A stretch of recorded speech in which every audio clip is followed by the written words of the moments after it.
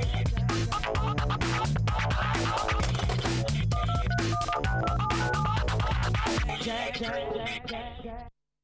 Hi there, everyone. Welcome to Science Catalyst. I'm John, and I'm going to be joined by Phil this evening. We'll be taking your grade 12 science questions. Now, we've got something really special lined up this evening. We're going to be talking about redox chemistry as well as some organic chemistry, but we're welcome to call us on any other topics.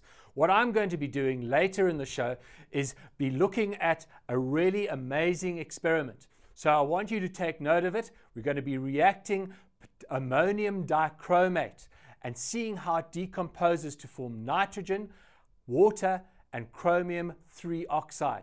Now, have a look at that equation, see if you can write it down. I'll be back a little later in the show to explain the chemistry of what's happening, to analyze it, and to see if you've worked out what type of reaction it is.